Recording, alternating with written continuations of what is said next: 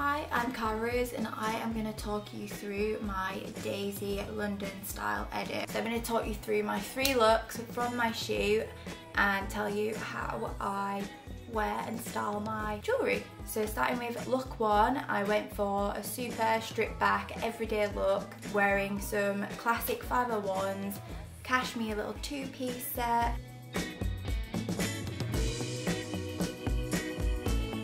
jewellery I went for a classic little T-bar with a flat chain with this super cute moon charm with a chunky chain.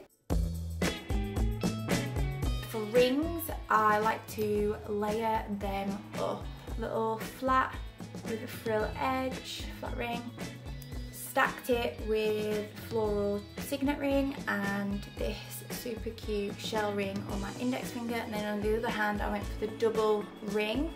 So it's one ring but looks like you own two so it's perfect for me. Then for look two I went a bit dressier, super 60s backless high neck ribbed dress from my favourite brand at the minute Musier Paris not London. And it's got a super scoop low back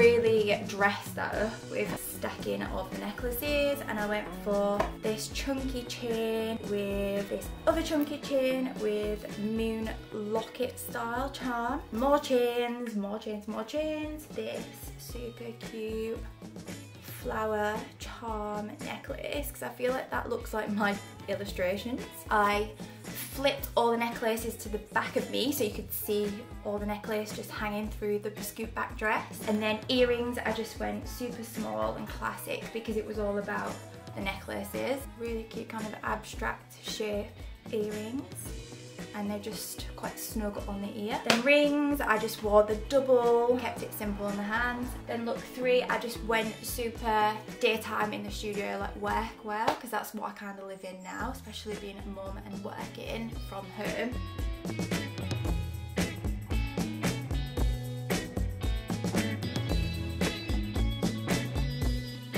I just wore comfy Bella Freud um, tracksuit. I wore it with lady figure necklace. I wore the T-bar earrings, which are here. So it was like daytime, casual, but still wearing your statement pieces. But I love this, look how it just hits the light, so cool. So there are my three chosen looks styled with Daisy London.